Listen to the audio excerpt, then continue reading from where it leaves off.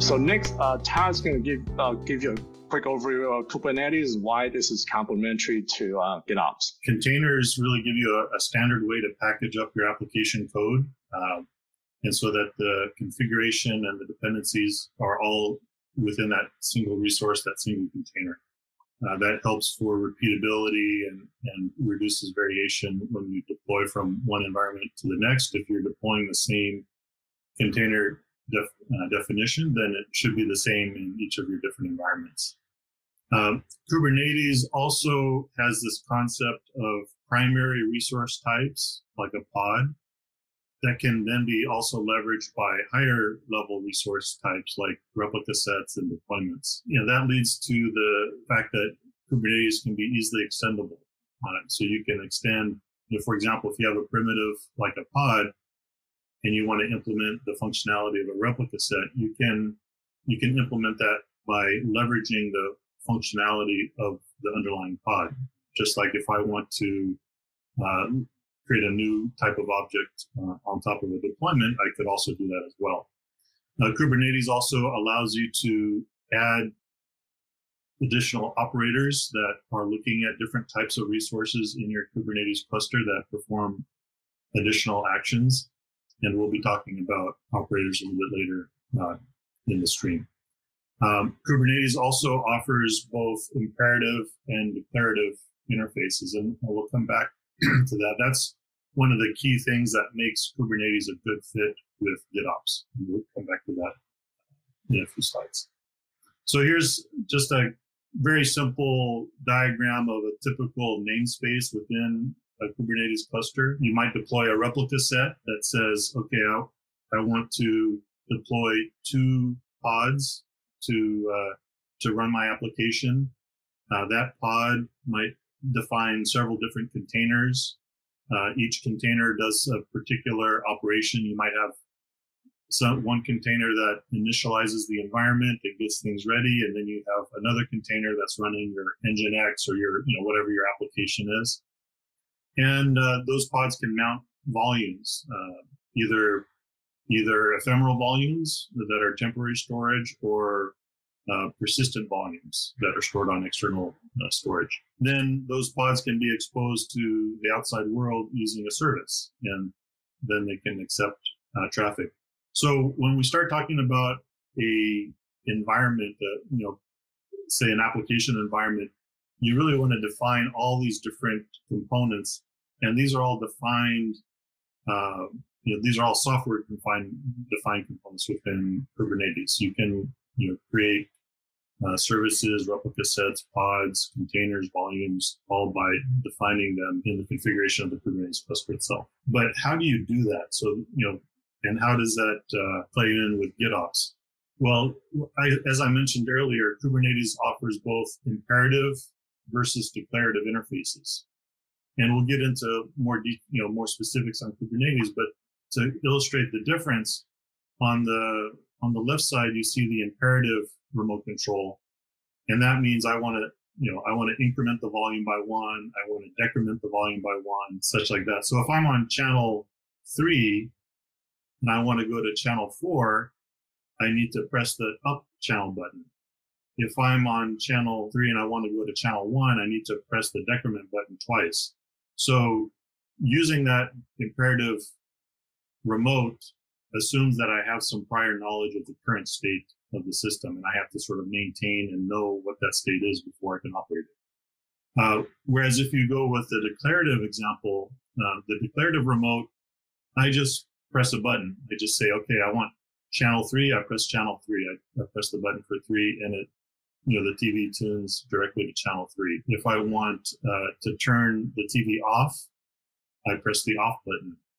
What if the TV was already off? if in the imperative example, pressing the power button might turn it on when I thought maybe I wanted to turn it off. Uh, so anyway, that's that's kind of a, an analogy for how uh, imperative versus declarative works in Kubernetes. Now, the reason this is important is the declarative nature of Kubernetes makes it much easier to implement uh, GitOps. I mean, that's really a key enabler of GitOps.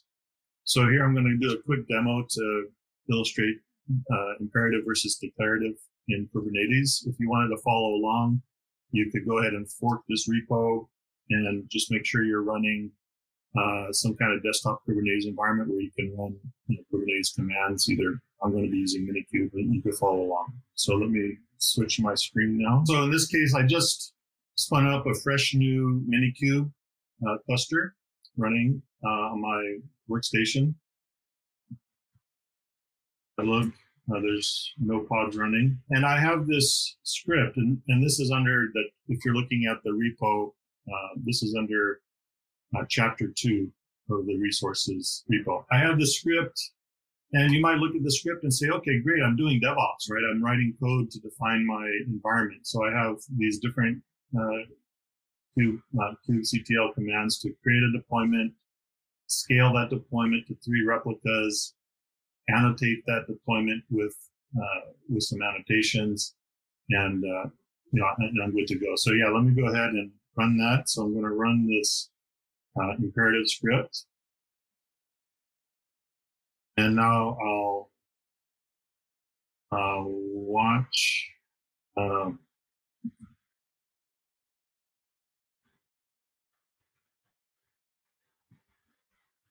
and we should see these containers mean, so at least I got the output that um, the deployment was created, the deployment was scaled, and the deployment was annotated. So, so far everything looks good. Um, and now I have three running pods. I'm good to go. My deployment was successful.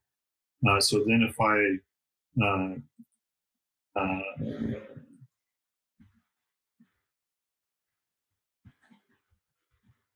describe the uh, Nginx imperative deployment,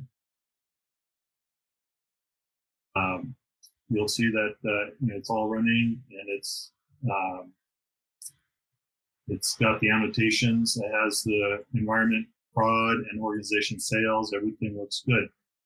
Um, so now, so let's say I check this code in. I say, okay, this is my code for deploying, you know, creating my deployment for my Nginx application. And now someone says, well, you really, you know, sales isn't really the right thing. You should really change that to marketing because it's really marketing's Nginx. It's not really sales per se. So I go here and I say, okay, let me finally change this to marketing. So I change it to marketing. Uh, I save the file and I say, okay, I'll just run it again. I'll just uh, run this script again. Oh, wow. Okay, I got some errors here. So number one, the deployment already exists, so I can't do another create on it. Um, the scaling is fine. It scaled to three replicas and it just scaled it again to three replicas. That's, that's fine. But then it's complaining that, um, the annotation already exists, already has a certain value. Okay, well, I could add the override command and I could do some other, I could do an if check, like if the deployment exists, then do a create, don't do a create, do an update. And if the deployment doesn't exist, do a create. And so I can make this script more and more complicated. Um, but why would I want to do that when I don't have to, right? So that's, um, that's where the declarative comes in. So instead of writing a script like this to do everything very programmatically, step by step, um, Kubernetes allows you to define your environment, your desired environment, um, and uh, make changes and, uh, and define it that way. So here's an example of the exact same result. The, the same end result is exactly the same. Uh, I have these two annotations. I have three replicas. And, but what I'm doing is I'm saying this is what the deployment should look like. This is, I'm declaring the, the desired state, right? So then if I do a kubectl apply and, uh, do the declarative deployment, it, it creates the deployment and everything's set the way I want. Um, I can do the watch again. I can see my containers getting created. Uh, and then if I do the describe and instead look at the declarative deployment, uh, I see it's it's uh, pretty much identical. It has the same annotations, has the same everything. Now, if someone says, "Oh, you should change that organization instead of sales, it should be marketing," I can go here. I can simply just say marketing and uh, save that, and then I can apply. I'm basically applying the same manifest again uh, from the file, and I apply it, and it says, "Okay, it's configured." And if I uh, look at the deployment again, I'll see that the organization was changed to marketing. So one of the key enablers of of um, of GitOps is that you can have this declarative specification of your application, the infrastructure that your application depends on, and you can make changes to that simply by changing this declarative file and then reapplying it to your Kubernetes cluster. Uh, and that's what you know, we'll talk about in the sections. So, so again, the imperative deployment, uh, you have the script that you can run, uh, but in, instead of having a script to, to run, you have a declarative deployment that has the, you know, the end result, you know, the, the desired state of your, your deployment. How GitOps is implemented in a, um, in practice is you are running a, um, uh, operator or controller um, that is continuously in this this reconciliation loop. It's it's forever in this uh, constant circle of uh, basically checking the contents of a, a Git repo, um, searching that repo for um, basically walking that directory for any um, manifests that need to be applied into the cluster, and then essentially just applying those manifests. In summary, like all GitOps operators are doing this reconciliation loop, and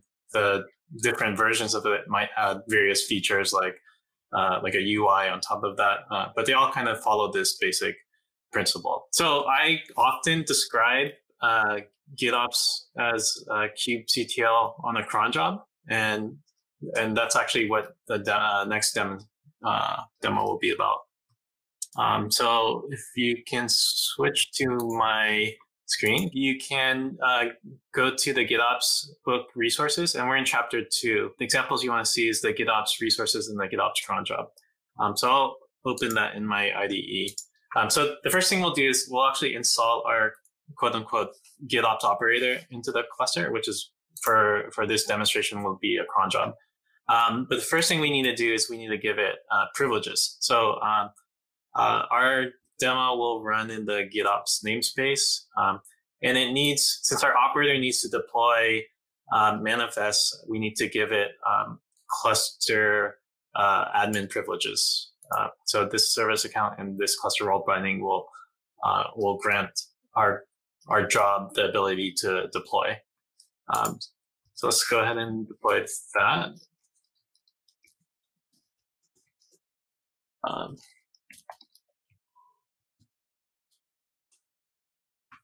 Okay, and so then now that we have privileges, let's actually install the quote unquote operator. Um, so if you look at this cron job, um, I have a cron job running every minute.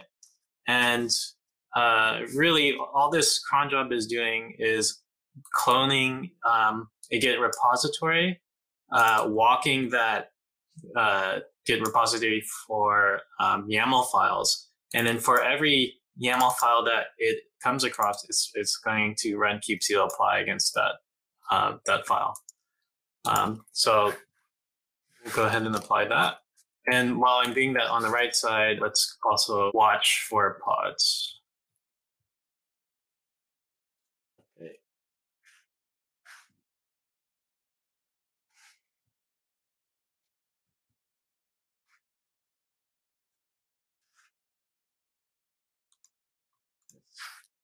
Okay, so um, it'll take about a minute, uh, but while we're doing that, I can bring up the um, uh, what is it actually going to deploy.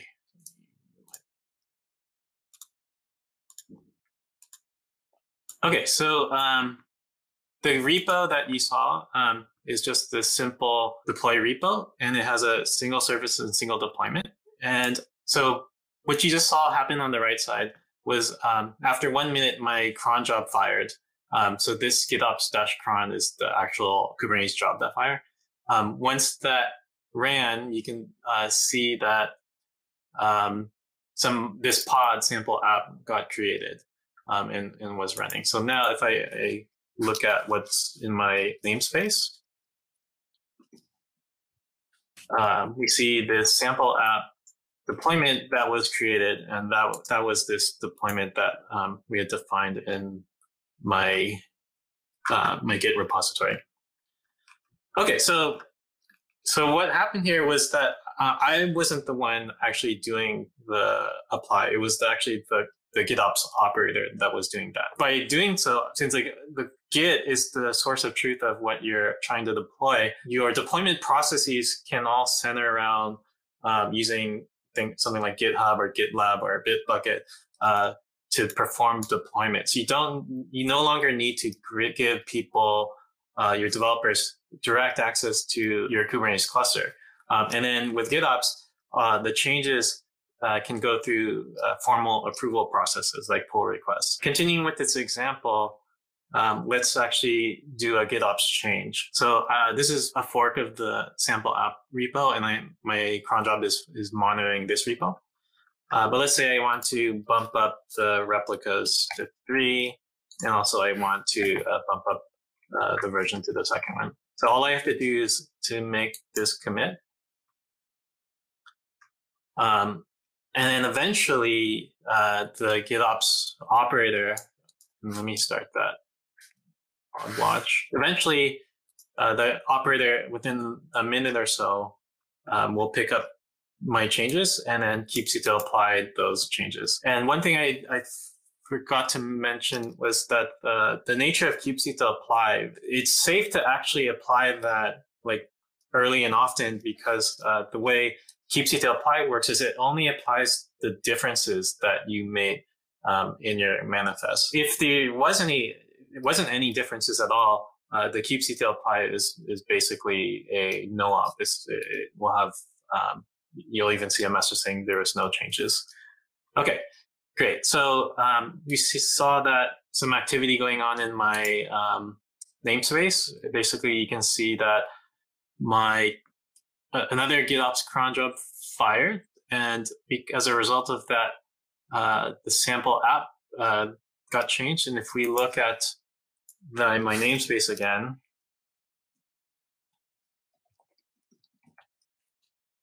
Um, we see our, that same sample app, it now has three replicas. And then if we uh, look at the contents, um, we see that the image um, has been bumped to two. That's a very, what we call the poor man's GitOps. It's, it's useful for um, explaining, you know, the basic concept of GitOps. The, um, but of course, no one is going to run um, their deployments in this way, and so that's um, that's where we get to the more advanced GitOps operators. In our book, we cover uh, three tools: Jenkins X, Flux, and Argo CD. There isn't much time to go over um, all three. Each of these has their own kind of spin on um, their approach to, to GitOps. Um, but since Alex and I are maintainers of the Argo uh, CD project. Um, we'll go into um, some details about how Argo CD works.